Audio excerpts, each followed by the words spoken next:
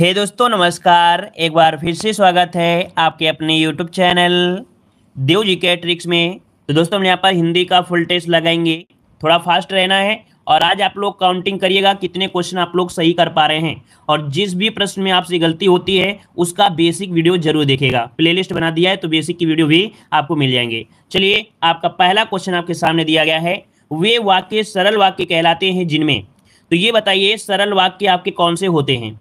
चलिए, पहले का जवाब दीजिए, इसका राइट आंसर इनमें से क्या हो जाएगा? कह रहा है, एक से अधिक प्रधान उपवाक्य होते हैं, ये तो ऑप्शन आपका गलत हो गया। एक साधारण और दूसरा आश्रित उपवाक होता है, ये भी गलत हो गया। एक ही उद्देश्य और एक ही विधेय होता है। मतलब ऑप्शन जो आ रहा है, वो आपका यहाँ पर कौन सा हो जाएगा? सी नंबर जिसका आ रहा है, बिल्कुल राइट हो जाएगा। एक ही उद्देश्य हो और एक ही विधेय हो, उसे कहते हैं साधारण वाक्य कहते हैं, अर्थात सरल वाक्य कहते हैं। जैसे सीता स्कूल जाती है तो सीता क्या है? सीता एक उद्देश्य है और स्कूल जाती है, एक विधेय के रूप में कार्य करता है। अर्थात ये क्या हो गया? एक सरल वाक्य हो गया तो ऑप्शन क्या हो जाएगा? सी नंबर राइट हो जाएगा। आगे बढ़ते हैं क्वेश्चन दिया गया है, प्रत्येक वर्ग का दूसरा और चौथा वर्ण क्या कहलाता है? तो देख सकते हैं हमने व्याकरण में जो आपका हिंदी वर्णमाला है वीडियो आपको दिया था। तो प्रत्येक वर्ग का दूसरा और चौथा वर्ण क्या कहलाता है? तो देख सकते हमने आपको बताया था का, ख, है ना? गा, घा, अंगा। तो इसमें आपसे पूछा है दूसरा और आपका चौथा जो आपका घा होता है। ये क्या होते हैं? महाप्राण होते हैं। तो आपका आंसर क्या हो जाएगा? यहाँ पर देख सकते हैं ऑप्शन आ रहा है ए नंबर तो आपका आंसर ए हो जाएगा, महाप्राण बन जाएगा। ठीक है? ए नंबर आगे बढ़ते हैं क्वेश्चन दिया गया है, उच्चारण की दृष्टि से संबल ध्वनि का कौन सा वर्गीकरण है? संबल ध्वनि का कौन सा वर्गीकरण है? थ्री का जवाब दीजिए, इसका राइट आंसर क्या हो जाएगा चलिए, काफ़ी लोग जवाब दे रहे हैं। और यहाँ पर देख सकते हैं, ए नंबर दे रहे हैं, यहाँ पर हो जाए करे संप्रक्त ध्वनि है। देखिए, आपका जवाब जो सही है, बिल्कुल सही है, संप्रक्त ध्वनि। क्या हो जाएगा? संप्रक्त ध्वनि। मतलब जब कोई ध्वनि दो व्यंजनों से युक्त हो, क्या? जब कोई ध्वनि दो व्यंजनों से युक्त हो जाए, तब वह संप्रक्त ध्वनि कहलाती है, जैसे आपका संबल हो गया। इसमें क्या है? माँ भी है, आपका दिया गया है है ना? क्या दिया है? आपका माँ है और आपका यहाँ पर दिया गया है बा दोनों ही क्या हो गए हैं? आपके संयुक्त हो गए हैं। इसलिए हम लोग संबल या संप्रक्ति ध्वनि कह सकते हैं। आपका ऑप्शन क्या हो जाएगा? ए नंबर इसका राइट हो जाएगा। क्लियर हो गया है? आगे बढ़ते हैं क्वेश्चन आपसे अगला पूछा गया है कि विपद धनजाल विपद जाल में कौन सी संधि है? यहाँ पर बताइए, विपद झंझाल विपद जाल में कौन सी संधि है? चलिए, यहाँ पर आपका फोर नंबर चलिए फोर यहाँ पर आपका जवाब आ रहा है फोर बिल्कुल सही है। देखिए, यहाँ पर फोर का आंसर जो आपका बनेगा, वो आपका राइट आंसर बन जाएगा बी यहाँ पर हो जाएगा व्यंजन संधि, हो जाएगा, क्या हो जाएगा? व्यंजन संधि होता है व्यंजन संधि, ठीक है? आगे बढ़ते हैं क्वेश्चन दिया गया है, दुरात्मा में कौन सा उपसर्ग है? देखिए, उपसर्ग और प्रत्यय आप लोगों को पढ़ाया गया है, यहाँ पर उपसर्ग होता है किसी शब्द के पहले आपका जो होता है, उसे उपसर्ग कहते हैं, और शब्दांश के लास्ट वाला जो निकलता है, उसे हम प्रत्यय कहते हैं। अब यहाँ पर बताइए, कौन सा निकलेगा? दुर निकलेगा ना? अगर इसे तोड़ेंगे तो निकलेगा क्या? तो यहाँ पर देखिए, दुर निकल कर आ जाएगा, और इसके बाद यहाँ पर क्या निकलेगा? आत्मा निकलेगा। क्या निकलेगा? आत्मा निकलेगा। मतलब आपका जो फाइव है फाइव का ऑप्शन यहाँ पर क्या हो जाएगा? यहाँ पर देखिए ऑप्शन सी हो जाएगा। मतलब रा जो होगा वो आपका कैसा होगा? आधा रा होगा। तो ऑप्शन क्या हो जाएगा? आपका सी नंबर हो जाएगा। आगे बढ़ते हैं। क्वेश्चन दिया गया है, निम्नलिखित में से किस वाक्य में परिमाणवाचक क्रिया विशेषण है? देखिए, दिया गया है परिमाणवाचक क्रिया विशेषण। चलिए, बहुत अच्छे। यहाँ पर देखिए, काफ़ी लोगों के जवाब आ रहे हैं। परिमाण। इस बार बारिश में बहुत ओले पड़े, है ना? तुम अच्छे खिलाड़ी हो मतलब यहाँ पर जो सिक्स नंबर है तो सिक्स नंबर में कह रहा है बहुत ओले पड़े। तो यहाँ पर क्या हो गया? आपका परिमाण वाचक क्रिया विशेषण ए नंबर आपका राइट हो जाएगा, ठीक है? चलिए आगे बढ़ते हैं क्वेश्चन दिया गया है। मनोभावों को प्रकट करने वाले वे अभिकारी शब्द जिसका, जिनका वाक्य में कोई संबंध नहीं रहता है, उन्हें क्या कहते हैं? तो देखो यहाँ पर दिया गया मनोभावों को प्रकट करने वाले। तो ये बताइए, मनोभावों को प्रकट करने वाले हैं, है ना? तो यहाँ पर अभिकारी भी दिया है तो क्या विकल्प तो हो नहीं सकता है, समुच्चय भी नहीं हो सकता है, अनुबद्ध नहीं होगा तो ऑप्शन क्या होगा? सी नंबर विस्मयादि बोधक। क्योंकि विस्मयादि में हर्ष, शोक, कई प्रकार के यहाँ पर कह सकते हैं, मनोभाव, विकार यहाँ पर हो सकते हैं तो ऑप्शन क्या हो जाएगा आपका? सी नंबर हो जाएगा। आगे बढ़ते हैं क्वेश्चन आपसे दिया है, वे भ्रष्टाचार के प्रबल विरोधी थे, वाक्य सर्वनाम का कौन सा प्रकार है? वे भ्रष्टाचार के प्रबल विरोधी थे, आठ का जवाब दीजिएगा। चलिए, काफ़ी लोगों के जवाब आने शुरू हो गए हैं। और देखो, यहाँ पर संबंध दिया है, निश्चयवाचक है, निजवाचक और आपका पुरुषवाचक है। लेकिन इसका राइट जो आंसर आपका आएगा, वो आपका कौन सा हो जाएगा? यहाँ पर देखिए, आपको दिया गया है, ये, यह कह सकते हैं, जैसे आपका दिया है गया हो, वह, है ना, क्या दिया हो, वह, यह कह सकते हैं, वे दिया गया हो, यह दिया है, ये दिए गए हों, ये क्या होते हैं, सर्वनाम होते हैं, कैसे, पुरुषवाचक सर्वनाम होते हैं। तो आपका आंसर जो बनेगा, वो आपका डी नंबर हो जाएगा, पुरुषवाचक सर्वनाम है, याद रखिएगा, ठीक है ना, ऑप्शन क्या बनेगा आपका, डी नंबर हो जाएगा, पुरुषवाचक सर्वनाम हो जाएगा। आगे बढ़ते हैं, क्वेश्चन आपसे दिया गया है, व्युत्पत्ति के आधार पर किलकिल कौन सा शब्द है? व्युत्पत्ति के आधार पर किलकिल कौन सा शब्द है आपका? नाइन का जवाब दीजिए लीजिए यहाँ पर आपका सही आंसर क्या हो जाएगा? देशज, विदेशज, तत्सम या अर्ध तत्सम तो देखो, यहाँ पर हम लोग क्या अपने लैंग्वेज में ही इसे बना लिए हैं, अर्थात देश में ही उत्पन्न हुआ है। तो ऐसे शब्द जो अपने देश में उत्पन्न होते हैं, जिनको हम लोग पहचान भी नहीं पाते हैं, अर्थात यहाँ पर ए नंबर आपका हो जाएगा, देशज हो जाते हैं। देशज ऑप्शन आपका ए नंबर राइट हो जाता है। मतलब ऐसे शब्दों की उत्पत्ति का पता नहीं चलता है कि ये कहाँ से निकल कर आए हैं, है ना? तो आपका हो जाएगा देशज। आगे बढ़ते हैं क्वेश्चन दिया गया है। नियत और नियत शब्द युग्म के सही अर्थ आपको बताना है। देखो, नियत मतलब क्या होता है और नियत मतलब क्या होता है? आप सभी का जवाब सही होना चाहिए। तो देखो, यहाँ पर नियत नियत मतलब होता है यहाँ पर निश्चित। निश्चित, और नियत कहते हैं ना, नियत तुम्हारी खराब हो गई है। अर्थात कह सकते हैं, इरादा जो आपका है, वो आपका अच्छा नहीं है। तो आपका यहाँ पर आंसर कौन सा हो जाएगा? सी नंबर हो जाएगा। निश्चित और आपका इरादा, इसका बिल्कुल राइट आंसर बनेगा।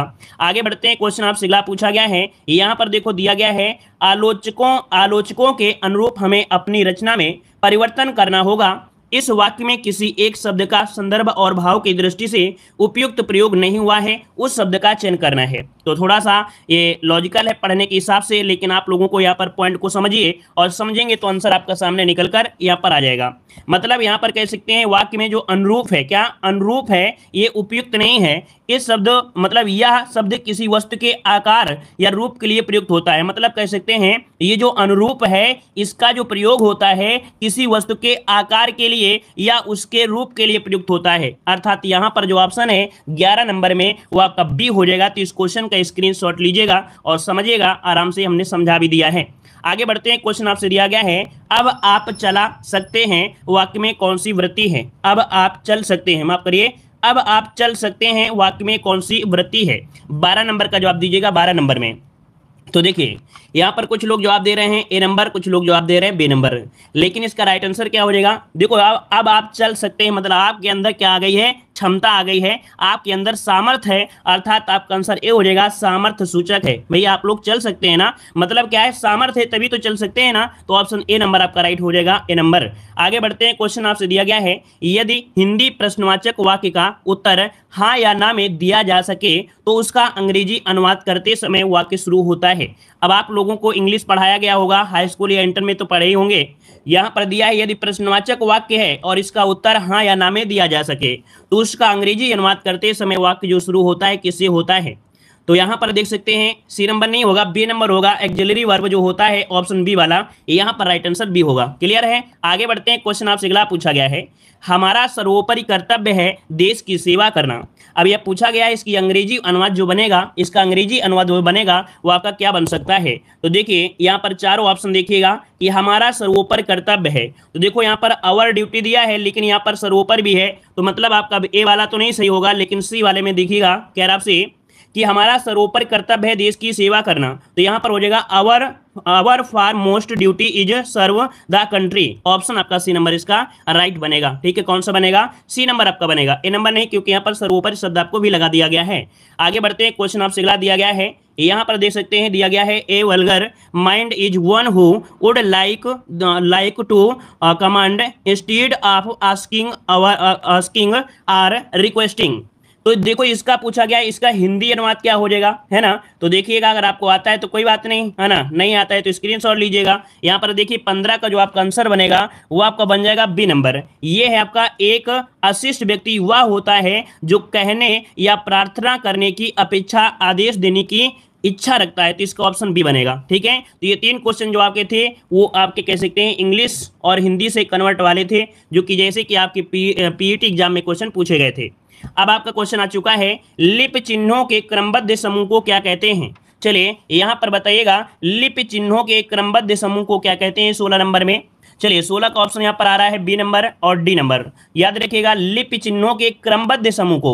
तो देखो, लिपियाँ होती हैं कितनी? आपकी बावन होती हैं। अर्थात जो वर्णमाला में जो वर्ण होते हैं, वो आपके बावन होते हैं। इन्हीं को बोलते हैं लिप चिन्ह। और इनको अगर क्रमबद्ध समूह से अगर रख देते हैं तो बन जाता है वर्णमाला। तो आपका आंसर हो जाएगा डी नंबर वर्णमाला हो जाएगा। आगे बढ़ते हैं क्वेश्चन दिया गया है कि ऐसी कौन सी दो मात्राएँ हैं जिनका प्रयोग तो किया जाता है, किंतु उनका समावेश स्वर में नहीं किया जाता है। देखिए सत्रह नंबर में तो देखो, यहाँ पर देखिए जो अंक और आहा है है ना, इनका प्रयोग हम लोग क्या करते हैं, मात्राओं के हिसाब से करते हैं, लेकिन इनका समावेश स्वर में नहीं किया जाता है तो ऑप्शन आपका बी नंबर, अंक और आहा इनका राइट आंसर हो जाएगा, जिन्हें अयोग्य विवाह कहते हैं, ठीक है? आगे बढ़ते हैं क्वेश्चन आपसे दिया गया है।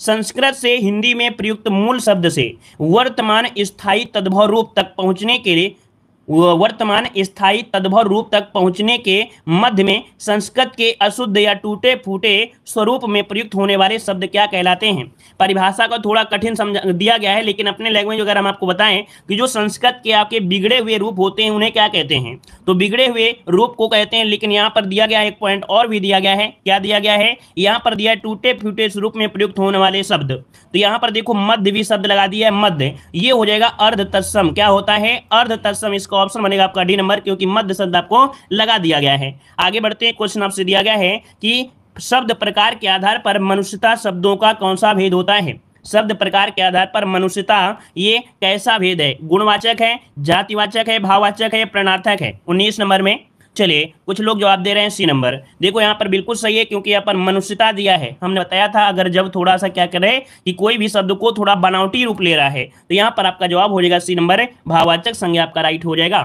आगे बढ़ते हैं, क्वेश्चन आपसे अगला पूछा गया है। इंद्रियों को जीत लिया हो जिसने वाक्यांश के लिए सही विकल्प का चयन करना है। इंद्रियों को जीत लिया हो जिसने। चलिए, यहाँ पर देख सकते हैं, काफ़ी लोग जवाब दे रहे हैं बीस नंबर में। ऑप्शन जो हो जाएगा सी नंबर, जितेंद्री कहा जाता है। क्या? इंद्रियों को जीत लिया है। इंद्रजीत की बात नहीं कर रहा है। यहाँ पर इंद्रियों की बात कह रहा है और इंद्रियों को जीत लिया हो जिसने, उसे बोलते हैं जितेंद्री तो ऑप्शन हो जाएगा सी नंबर। आगे बढ़ते हैं, क्वेश्चन आपसे अगला पूछा गया है, से अलगाव किस विभक्ति का बोधक होता है? मतलब आपको कई बार बताया गया है, जब अलगाव की स्थिति हो और ये वाला से, क्यों? एक से होता है करण से के द्वारा, एक होता है अपादान से के द्वारा। अर्थात यहाँ पर से जो आपका है अलगाव की स्थिति में, ये विभक्ति का बोध होता है किसमें? तो आपका आंसर हो जाएगा डी नंबर अपादान में प्रयोग होगा ऑप्शन डी नंबर अगला क्वेश्चन दिया है, तन शब्द का लिंग निर्धारण कीजिए। तन शब्द का लिंग निर्धारण आपको करना है। अब देखिए, हमने आपको बताया था सबसे सिंपल होता है लिंग निर्धारण करना। हमने आपको बताया था जैसे एक पॉइंट हमने बता दिया कैसा और एक पॉइंट हमने बता दिया कैसी, है ना? क्या बता दिया? कैसी। अब देखो, अगर आपसे पूछे रोटी कैसा है तो क्या हो गए कि सर रोटी कैसा नहीं होता है, कैसी होती है ना? तो आप कहेंगे रोटी कैसी है तो रोटी क्या हो गया? स्त्रीलिंग, है ना? अगर हम आपसे बोले पानी पानी कैसी है तो आप कहोगे सर पानी कैसी नहीं होता है, पानी कैसा है? तो मतलब पानी जो होता है वो पुरलिंग होता है। अब यहाँ पर देख सकते हैं, तन कैसा है या तन कैसी है? क्या बोलेंगे? यहाँ पर इसे क्या बोलेंगे? तन कैसी है, कैसा है? तो तन कैसा है? ये नस्वर है, अर्थात ऑप्शन ए हो जाएगा, ये पुल्लिंग हो जाएगा। क्लियर है? आगे बढ़ते हैं क्वेश्चन आपसे दिया गया है। उत्तम पुरुष सर्वनाम के किस भेद का एक प्रकार है? उत्तम पुरुष सर्वनाम के किस भेद का एक प्रकार है? निजवाचक में पुरुषवाचक, संबंधवाचक या निश्चयवाचक? चलिए, तेईस नंबर तेईस नंबर में देखिए, ये पुरुषवाचक में आता है। याद रखिए, उत्तम पुरुष सर्वनाम, जो कि आपका आता है पुरुषवाचक में तो ऑप्शन क्या होगा? बी नंबर राइट हो जाएगा। आगे बढ़ते हैं, क्वेश्चन आपसे दिया गया है, कंचन एक कृषांगनी युति है, इस वाक्य में कौन सी अशुद्धि है? चलिए बताइएगा, कंचन एक कृषांगनी युति है, इस वाक्य में कौन सी अशुद्धि दी गई है? चौबीस नंबर में बताइए, कौन सी अशुद्धि दी गई है? देखो यहाँ पर शब्द चयन संबंधी है, वर्तनीगत शुद्धि है, व्याकरण की अशुद्धि है, या शब्द निर्माण की अशुद्धि है। थोड़ा सा कठिन आपको हो सकता है ये क्वेश्चन आप लोग प्रयास करिए कि इसका राइट आंसर क्या हो सकता है। तो देखो, यहाँ पर जो दिक्कत है वो आपके शब्द निर्माण की अशुद्धि है। क्या? शब्द निर्माण की अशुद्धि है यहाँ पर, है ना? मतलब कह सकते हैं, कृषांगनी जो दिया गया है, ये कृषांगनी जो दिया है, ये कृषांगनी नहीं होना चाहिए, यहाँ पर कृषांगी होगा। क्या हो जाएगा? कृषांगी। मतलब यहाँ पर जो नी दिया है नहीं होना चाहिए और गा में बड़ी की मात्रा होनी चाहिए। अर्थात इन्हीं के स्थान पर ई आएगा, इस कारण से शब्द निर्माण की अशुद्धि थी। ऑप्शन आपका डी हो जाएगा। आगे बढ़ते हैं, क्वेश्चन आपसे अगला पूछा गया है। चलिए, निम्नलिखित में से कौन सा औपचारिक पत्र का उदाहरण है? ये बताइए, औपचारिक पत्र क्या होते हैं? सॉरी माफ़ करिए, अनौपचारिक पत्र दिया है, अनौपचारिक पत्र। अनौपचारिक पत्र किसे कहा जाता है? यहाँ पर देखिए, अनौपचारिक पत्र किसे कहते हैं? पच्चीस में। चलिए, देखिए, यहाँ पर जब क्या होता है, शादी शादी की बात होती है या कोई निमंत्रण की बात होती है है ना, यहाँ पर बहन के विवाह में शामिल होने के लिए मित्र को लिखा गया जो पत्र है, इसे बोलते हैं अनौपचारिक पत्र, अर्थात जो आपके रिश्तेदारों की बात होती है, घर परिवार की बात होती है, जो हम लोग पत्र लिखते हैं, उन्हें अनौपचारिक पत्र कहा जाता है ऑप्शन क्या बनेगा, बी नंबर हो जाएगा, ठीक है ना? आप लोग काउंटिंग करते रहिए। हमें लग रहा है कि थोड़ा टेस्ट पेपर आपका कठिन है है ना? तभी संख्या कम है लोगों की। जब क्या होता है कि टेस्ट पेपर बहुत सरल होता है तो बड़ा अच्छा लगता है लोगों को लगाने में और पूरा टेस्ट पेपर लगाते हैं ना? जबकि आपको पता है, सरल सरल पेपर में नहीं आता है, कठिन भी आता है ना? तो थोड़ा सा कभी कभी कठिन प्रश्न भी लगा लिया करें। डरा मत करें। अगर डर गए तो बेकार है, कोई काम क्यों नहीं हो? चलिए बताइए, हिंदी भाषा में ह्रस्व स्वरों की संख्या होती है कितनी होती है? ह्रस्व को बोलते हैं क्या? लघु बोलते हैं क्या? ह्रस्व स्वरों को बोलते हैं लघु स्वर, है ना? तो यहाँ पर इनकी संख्या होती है कितनी? ऑप्शन बनेगा बी इनकी संख्या होती है चार होती है है ना? यहाँ पर छोटा, छोटी छोटा और आपका होता है ऋषि। तो इन प्रकार से ऑप्शन हो जाएगा यहाँ पर बी नंबर आगे बढ़ते हैं क्वेश्चन दिया गया है कि जिन सामसिक शब्दों में पहला पद संख्या हो, संख्या को व्यक्त करने वाला विशेषण होता है, वे शब्द क्या कहलाते हैं? तो देखो, आपको पढ़ाया गया होगा समास, है ना? समास में कहा गया है, जिसका पहला पद संख्यावाची हो, वो होता है आपका कौन सा? दिग समास होता है। दिग समास होता है, जो संख्यावाची होता है, ठीक है? द्वंद्व समास क्या होता है? जिसमें से योजक चिन्ह लगा होता है, जैसे घास, फूस, है ना? कपड़ा, लत्ता। तो जब कपड़ा, लत्ता लिखते हैं तो बीच में डैश लिख देते हैं, जैसे भाई, बहन। तो भाई, बहन के बीच में क्या होता है? योजक चिन्ह होता है। तो ये क्या होते हैं? दोनों ही पद क्या होते हैं? प्रधान होते हैं। बहुबरी समास में विशेष आपका अर्थ निकलता है, और अब भाव समास क्या होता है? जिसका पहला पद प्रधान होता है, उसे अव्ययी भाव समास कहते हैं। आगे बढ़ते हैं क्वेश्चन आपसे दिया गया है। सुहावना, लिखाई, छलिया, निम्नलिखित प्रत्यय के लिए सही विकल्प का चयन करना है। अब यहाँ पर देखिए, कोई भी एक शब्द को उठाइए, उसे तीन बार बोलिए। सुहावना सुहावना सुहावना। देखो, इसको बोलने से तो प्रतीत हो गया कि यहाँ पर क्या आ रहा है? सुहावना, है ना? सुहावना। लिखाई, आई शब्द आ रहा है और छलिया या शब्द आ रहा है तो ऑप्शन कौन सा जाएगा? यहाँ पर डी नंबर आपका राइट हो जाएगा। क्लियर है? आगे बढ़ते हैं क्वेश्चन दिया गया है, अलमारी कौन सी भाषा का शब्द है? अलमारी कौन सी भाषा का शब्द है? अर्थात जो आप लोग अलमारी बोलते हो ना, है ना? बहुत लोग तो इसे अलमीरा भी कहते हैं, है ना? जो कि शुद्धता होती है। अब बताइए, अलमारी जो है, वो कौन सी भाषा का शब्द है? ट्वेंटी नाइन का आंसर यहाँ पर सही क्या हो जाएगा? चलिए, अलमारी पुर्तगाली है, बिल्कुल सही है। यहाँ पर जिसका आंसर आ रहा है, बी नंबर पुर्तगाली हो जाएगा। देखिए, पुर्तगाली की अगर हम बात करते हैं, कुछ पॉइंट याद रखिए, जैसे अलमारी में क्या रखते हैं? कमीज रखते हैं। अलमारी में, अलमारी कहाँ रखी होती है? कमरा में रखी होती है। क्या रखी होती है? अलमारी रखी होती है कहाँ पर? कमरा में रखी होती है। कमरा में रखी होती है और अलमारी में ही पिस्तौल भी रखी होती है। क्या? अलमारी में पिस्तौल भी रखी होती है। क्लियर है ना? वहीं पर आलपीन भी होता है, कमीज भी होती है, अर्थात कह सकते हैं, आलपीन, कमीज, कमरा, काजू, गमला, पपीता, पिस्तौल। ये जो शब्द होते हैं, आपके पुर्तगाली से आते हैं, याद रखिएगा। ये पुर्तगाली के हैं। आगे बढ़ते हैं क्वेश्चन दिया गया है, वाक्यों का वर्गीकरण कितने आधारों पर किया गया है? चलिए, यहाँ पर पूछा गया, वाक्यों का वर्गीकरण कितने आधारों पर किया गया है? यहाँ पर तीस नंबर में। देखो, वाक्यों की अगर जब भी बात कर दे, तब आपको आंसर लगाना है कितना? तो यहाँ पर दो हो जाएगा। तीस का आंसर बनेगा कौन सा? दो। तो ये वाक्य क्या होते हैं? एक होता है रचना के आधार पर। क्या? एक होता है रचना के आधार पर, दूसरा होता है अर्थ के आधार पर होता है। अगर ये पूछ ले, रचना के आधार पर वाक्य कितने प्रकार के होते हैं तो रचना के आधार पर तीन प्रकार के होते हैं, सरल वाक्य, मिश्रित वाक्य और आपका संयुक्त वाक्य। अगर ये पूछ लेता कि अर्थ के आधार पर वाक्य के कितने भेद होते हैं, तब आपको बताना चाहिए था कि आठ प्रकार होते हैं, विधिवाचक, निषेधवाचक, आज्ञावाचक, प्रश्नवाचक, विस्मयवाचक, संदेहवाचक, इच्छावाचक और आपका संकेतवाचक। तो ये तीनों पॉइंट आपको नोट कर लेना है जो हमने आपको बताया है, क्योंकि एग्ज़ाम में ये क्वेश्चन फंसा देते हैं आपको।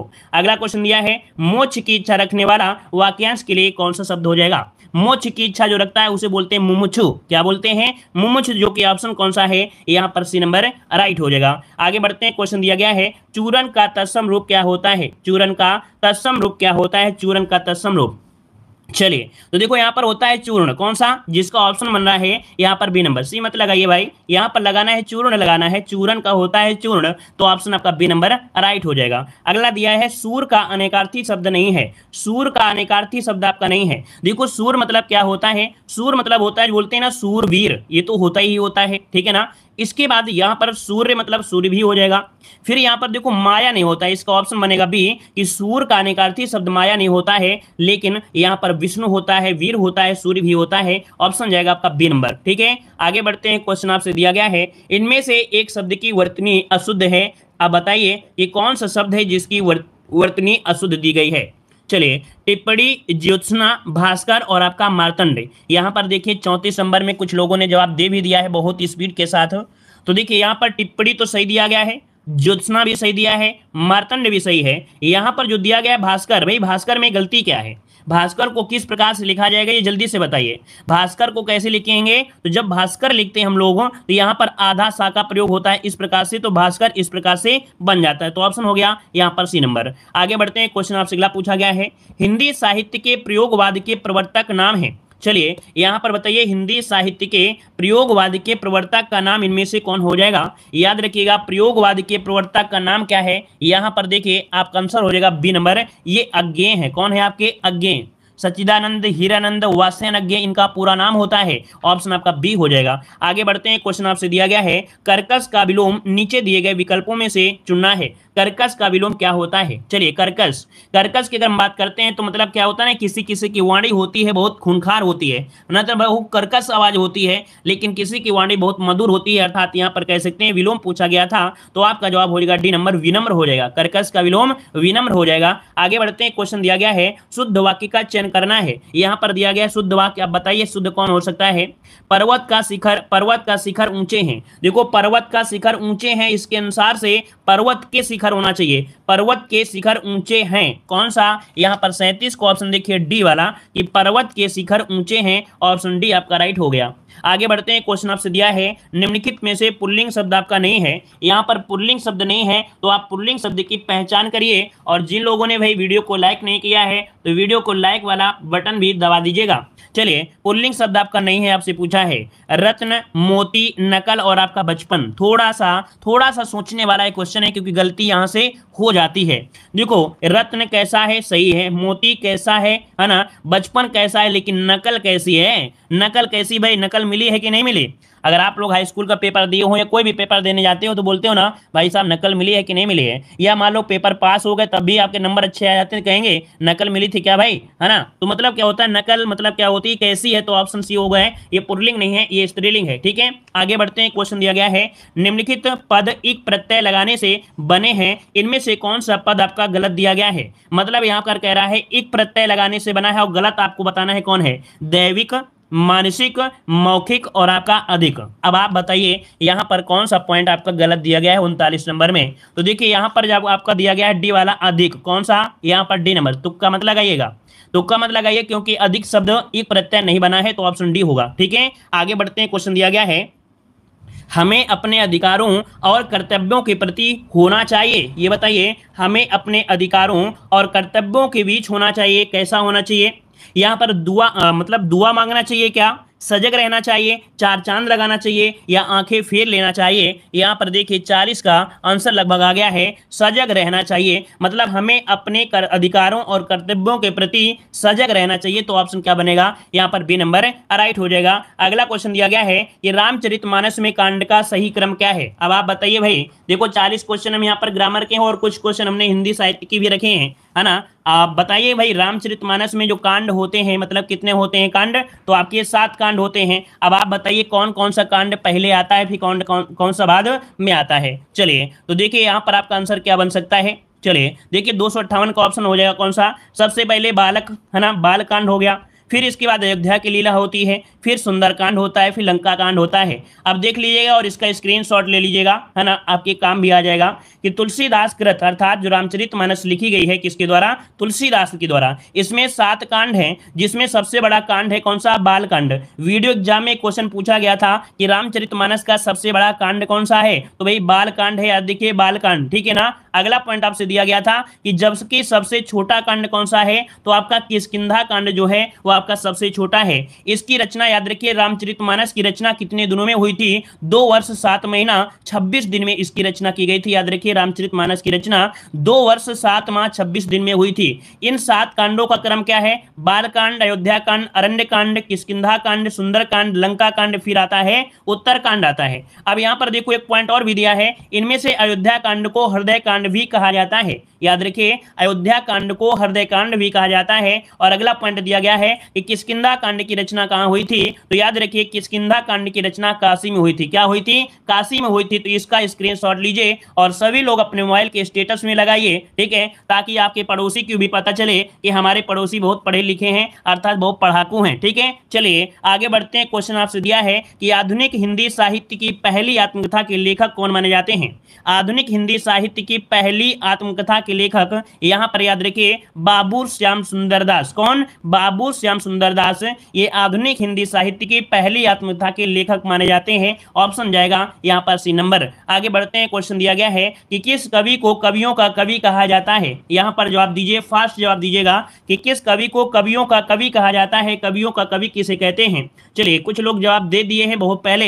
यहाँ पर देखिए, आपका आंसर ये हो जाएगा, शमशेर बहादुर सिंह को। याद रखिए, कवियों का कवि किसे कहते हैं? शमशेर बहादुर सिंह ऑप्शन आपका ए नंबर राइट हो जाएगा। आगे बढ़ते हैं क्वेश्चन दिया गया है, हिंदी का पहला पत्र इनमें से कौन सा है? हमने बहुत बार पढ़ा है आपको, याद रखिएगा कि हिंदी का पहला पत्र, याद रखिए, रचनाएँ अगर याद करना है डेली का डेली आपको पढ़ना पड़ेगा। एक दिन रचनाएँ नहीं रटती हैं, लेकिन अगर एक बार रट गए तो हमेशा बनी भी रहती हैं, है ना? तो देखिए, हिंदी का पहला पत्र जो आपका है, ये है आपका उदंत मार्तंड है, जिसके संपादक थे कानपुर के पंडित जुगल किशोर। आगे बढ़ते हैं। प्रेम सागर किसकी रचना है? प्रेम सागर किसकी रचना है? तो हमने बताया था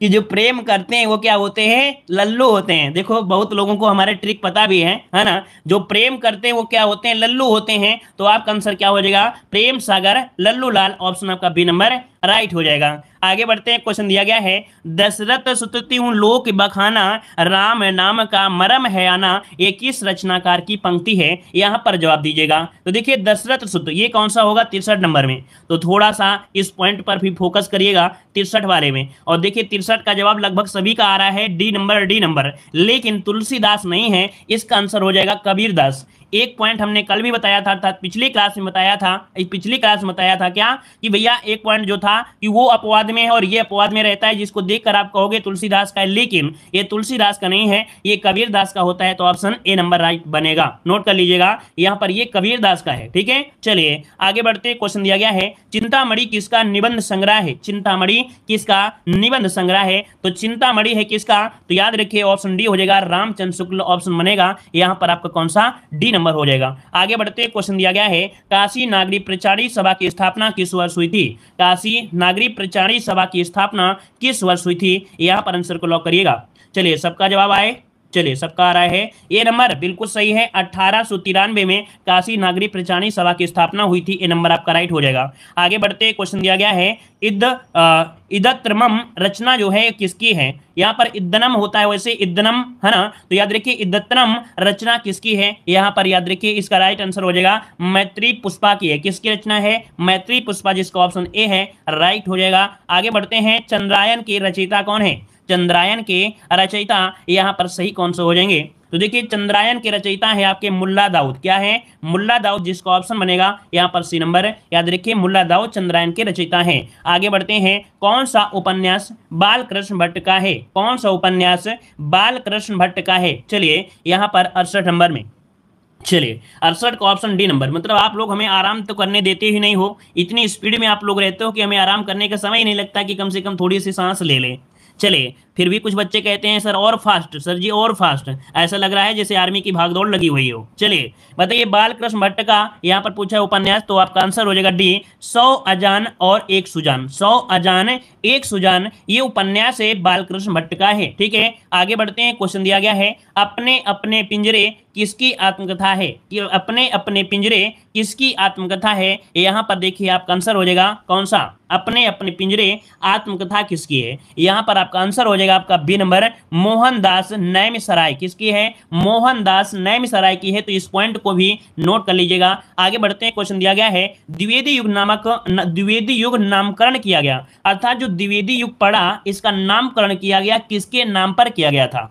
द्विवेदी युग नामकरण किया गया किसके नाम पर? यहाँ पर याद रखिए, महावीर साद्विवेदी क्या? महावीर साद्विवेदी करना है, आपको हजारी प्रसाद द्विवेदी नहीं लगाना है। हजारी प्रसाद द्विवेदी नहीं होगा। आप लोग बहुत ऐसे लोग हैं जो हजारी हजारी प्रसाद द्विवेदी बता रहे हैं। यहाँ पर महावीर प्रसाद द्विवेदी याद करना है। ऐसे याद रखिएगा, महा याद रखिए, महा, है ना? जो द्विवेदी लोग होते हैं, महापंडित होते हैं, है ना? सब कोई पैर छूता पैर छूता है, अर्थात महा शब्द आपको याद रखना है, महावीर प्रसाद द्विवेदी ठीक है? अगला पॉइंट दिया गया है कि छायावादी प्रवृत्ति की रचना सबसे पहले दिखाई पड़ी। छायावादी प्रवृत्ति की रचना सबसे पहले जो दिखाई पड़ी, वो किसमें तो एक आपके कह सकते हैं, आपकी थी कौन? तो सूर्य सुमित्रा नंदन पंत की कविता में, किसकी? सुमित्रा नंदन पंत की कविता में छायावादी प्रवृत्ति सबसे पहले दिखाई पड़ी तो ऑप्शन क्या हो जाएगा? यहाँ पर सी नंबर राइट हो जाएगा, ठीक है? आगे बढ़ते हैं। क्वेश्चन आपसे अगला पूछा गया है। यहाँ पर दिया गया है आवारा मसीहा जीवनी में किसका जीवन चित्रण किया गया है? देखो, दिया गया है आवारा मसीहा जीवनी में किसका चित्रण है? किसका चित्रण है, ये पूछा गया है। ये नहीं पूछा गया है कि इसकी रचना है किसने किया है है ना? तो देखिए, यहाँ पर आपका आंसर हो जाएगा शरत चंद चट्टोपाध्याय की जीवनी है किसमें? आवारा मसीहा में किसकी जीवनी का चित्रण है? तो आपके शरत चंद चट्टोपाध्याय का है ऑप्शन सी बनेगा।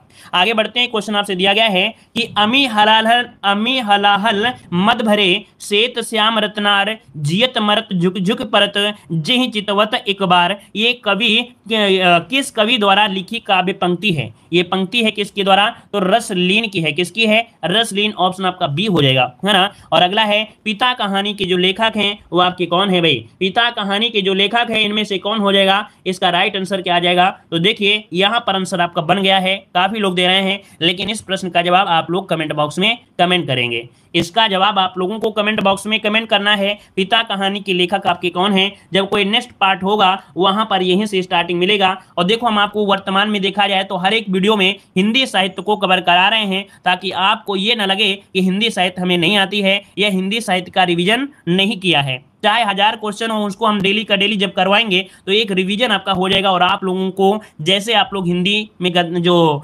सामान्य हिंदी है, उसी प्रकार हिंदी साहित्य को भी धुआँ धुआँ कर दोगे, ठीक है? मतलब अगर आप लोगों ने स्टार्टिंग किया है हिंदी पढ़ाई के लिए तो बेसिक की वीडियो देखते रहिए और डेली का डेली सभी को जय हिंद, सभी को वंदे मातरम। पसंद आया तो भाई लाइक शेयर कर दिया करें, ठीक है? धन्यवाद। गुड नाइट सभी को।